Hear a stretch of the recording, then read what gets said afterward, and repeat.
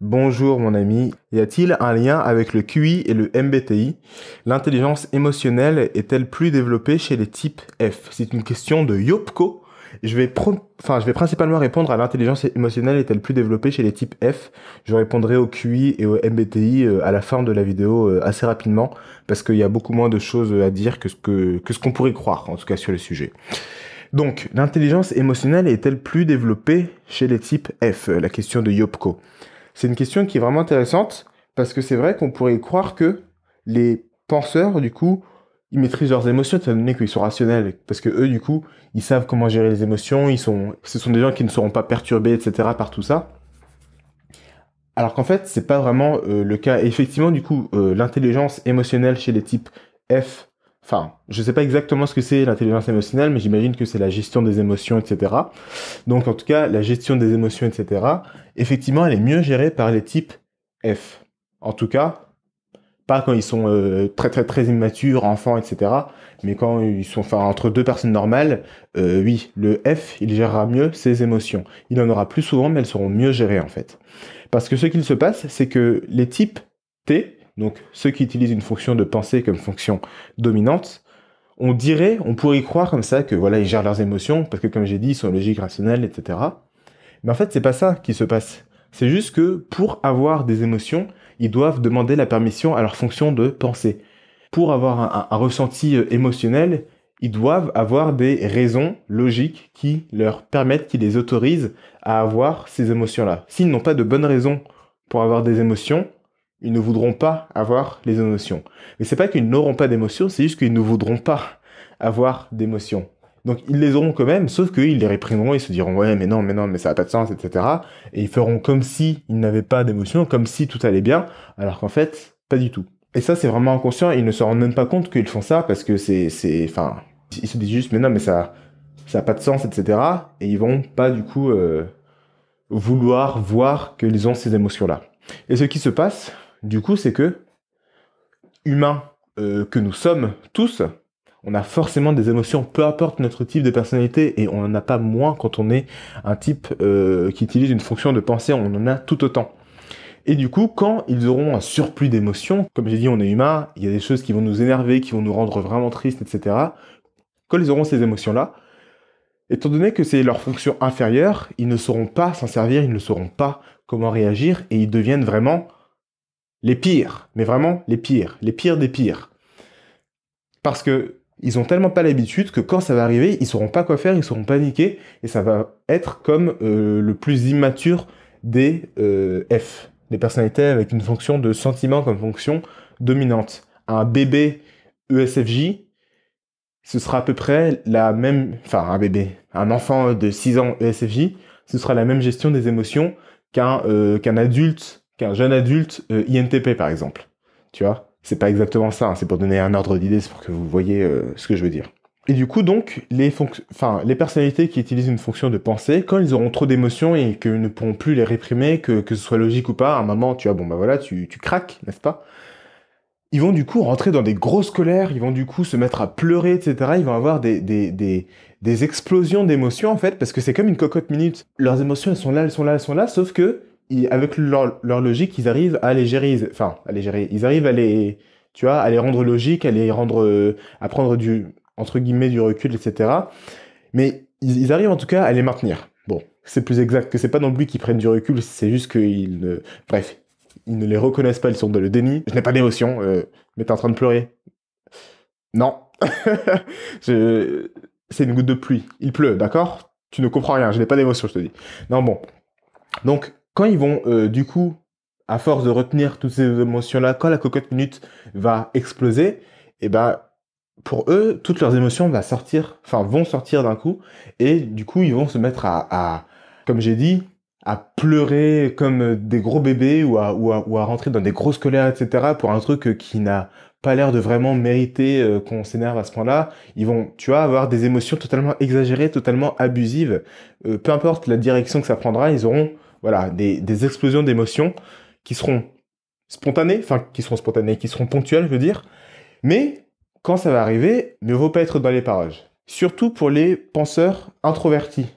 Parce que, en général, ceux dans les parages de qui il ne faut pas être, oula, phrase compliquée, ceux dans les parages de qui il ne faut pas être, c'est en général les penseurs extravertis parce que ce qu'ils vont venir t'agresser, ils vont venir te machin. Mais non, quand on en vient au sentiment, du coup, chez les penseurs extravertis, ce sera du sentiment introverti. Mais chez les penseurs introvertis, ce sera du sentiment extraverti. Et les personnes sentiment extravertis, quand elles ont des émotions, il faut que tout le monde le voit. Quand elles ont des émotions, elles commencent à taper des scandales, sentiment extraverti quoi. Ils, veulent que tout le monde voit leurs émotions, que tout le monde euh, sache qu'ils ont ces émotions là. Et du coup, quand ils vont être énervés, donc ils vont, ils vont du coup voilà être, enfin s'énerver en public, etc. Ils vont avoir des, des grandes émotions d'un coup, etc. Comme un, comme un ESFJ ou comme un ENFJ qui va faire comprendre à tout le monde les émotions qu'il a, qui voudra que tout le monde sache que tout le monde euh, soit, soit comment dire, soit au courant et partage euh, ces émotions là. Et quand ils seront tristes, ils vont du coup, pareil, ils vont passer en mode ESFJ, en mode ENFJ, ils vont du coup vouloir en parler à tout le monde, ils vont du coup vouloir euh, que leurs émotions soient validées par tout le monde, ils vont raconter leurs problèmes à tout le monde, ils vont dire oh non mais voilà, parce que si, parce que je ressens ça, parce que si, je ressens ça, parce que si, etc. Bon, en général, ils n'ont pas non plus le temps de euh, d'en faire 3 tonnes parce qu'ils vont rapidement revenir dans leur mode dominant. Mais s'il a des gens qui ont des fonctions de sentiment ou qui sont juste gentils à proximité de lui, il voudra voilà parler de ses émotions, il voudra raconter aux gens voilà comment je me sens, etc. Être validé de tout le monde, avoir un, besoin de soutien émotionnel des autres, etc. Tandis que les penseurs extravertis, eux, quand ils vont être tristes, ils vont passer en mode sentiment introverti. Et là, parce qu'ils sont là à faire les durs, etc. Mais quand ils sont tristes, autant les, un ISTP il passera en mode ENFJ, euh, e autant les, un ENTJ il passera en mode ISFP. Et là, vraiment, euh, c'est le gars, tu vas le retrouver dans son lit en train de pleurer toutes les larmes de son corps, dans son lit en train de se rouler, à se dire Oh mon Dieu, monde cruel, etc. Tu vois, c'est vraiment du sentiment introverti pur et dur. Donc, lui, il ne veut pas vouloir partager ses sentiments avec les autres. Surtout pas quand il va avoir des sentiments, etc., comme ça, il va vouloir s'isoler, il va vouloir que personne ne le voit, il va vouloir voilà, s'enfermer dans sa chambre et pleurer, pleurer, pleurer toutes les larmes de son corps, etc., parce que, parce que le monde est horrible et que les gens, ils sont méchants, etc. Et vraiment, il va passer en mode ISFP, il va passer en mode INFP, il va passer en mode sentiment introverti dominant. Et tu sais, ce seront vraiment des émotions euh, qui vont vraiment lui, lui, lui faire mal, mais vraiment mal au cœur, tu vois, vraiment des, des émotions profondes et, et, et sincères c'est assez euh, dingue quand tu vois un penseur extraverti qui passe en mode sentiment introverti, c'est vraiment vraiment choquant parce que c'est justement tout l'opposé de ce qu'il est en général. Ses sentiments, c'est pour lui, c'est quelque chose avec lequel il n'est vraiment pas du tout à l'aise, c'est vraiment quelque chose, euh, il ne sait pas comment gérer ça. Donc quand il les aura, il faut surtout pas que les autres le voient parce que avec les autres, il est en mode pensée extraverti, donc c'est pas possible. Ce qu'on remarque aussi, c'est que du coup, les doubles décideurs, ils ont aussi cet équilibre-là avec les fonctions de sentiment. Donc, les doubles décideurs qui utilisent une fonction de pensée comme fonction dominante, en général, eux, quand ils vont passer en mode sentiment, ils le géreront mal, mais ils le géreront à peu près bien. Si on devrait faire un ordre des gens qui utilisent le mieux les fonctions de, de sentiment, ceux qui l'utiliseraient le mieux parmi tous les types, c'est les double décideurs, donc qui auront leur fonction de sentiment au milieu, parce que eux, justement, ils auront un bon équilibre, ils sauront à peu près gérer ça sans être trop non plus émotionnels comme les F normaux. Ensuite, ce sont les décideurs, donc les EFJ et les IFP, qui eux vont avoir la fonction de, sentiment comme toute première fonction, donc ils s'en serviront moins bien que les doubles décideurs parce qu'ils s'en serviront trop. Ensuite, ce sont les doubles décideurs qui ont une fonction de pensée, qui se serviront le mieux de, enfin, qui, enfin, eux, ils s'en servent mal, mais voilà, ce sera pas aussi pire que les derniers de la liste qui sont, eux, les décideurs qui ont une fonction de pensée. Les doubles décideurs avec une fonction de pensée, comme c'est leur troisième fonction, voilà, ils la géreront pas très bien, mais ce sera à peu près équilibré quand même.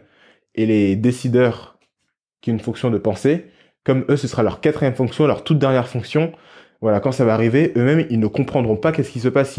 Enfin, mais qu'est-ce que c'est que ça? Qu'est-ce qui m'arrive? Pourquoi est-ce que d'un coup, je me, mets à avoir des émotions? Pourquoi est-ce que d'un coup, je suis plus logique, etc. Et ils vont vraiment, vraiment, vraiment avoir du mal avec ça, parce que quand ils le voient chez les autres, justement, ils ont tendance à s'en moquer, à trouver ça ridicule. Et là, ça leur arrive à eux. C'est quelque chose qui est très compliqué à vivre pour eux. En général, bon voilà, c'est passager, etc. Ils vont rapidement redevenir euh, logiques et froids, comme ils ont l'habitude de, l'être. Mais en tout cas, voilà Et d'ailleurs, euh, je terminerai là-dessus, c'est pareil pour les types euh, F. Hein. D'ailleurs, eux, ils géreront mal leurs pensées. Et quand les types F, ils vont passer en mode logique, en mode TI ou TE, ce seront vraiment les pires. Je, me souviens quand je typais Enjoy Phoenix, ça m'avait beaucoup fait rire. Et j'avais montré ça dans le typage efficace que j'avais fait dans, euh, l'espace membre. Parce que Enjoy Phoenix est une ESFJ et euh, il y avait une vidéo où elle se mettait à utiliser sa pensée introvertie.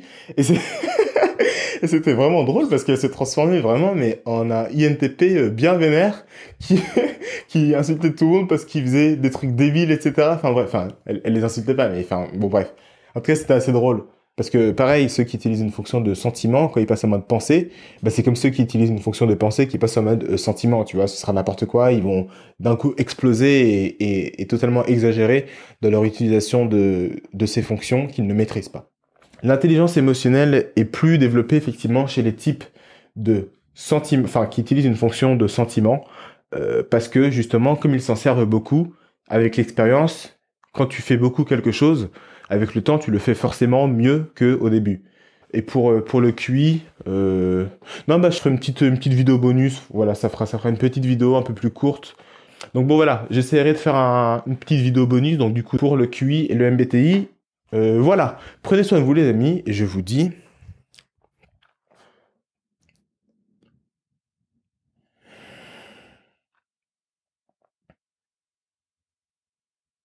Donc voilà, et bien voilà, cette vidéo est maintenant terminée. Enfin, cette vidéo, ce contenu, euh, bref, c'est fini quoi. Euh, tu peux checker la description, les trois liens sont très utiles.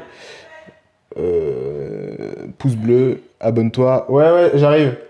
Et, et voilà, l'ami, prends soin de toi et à la prochaine.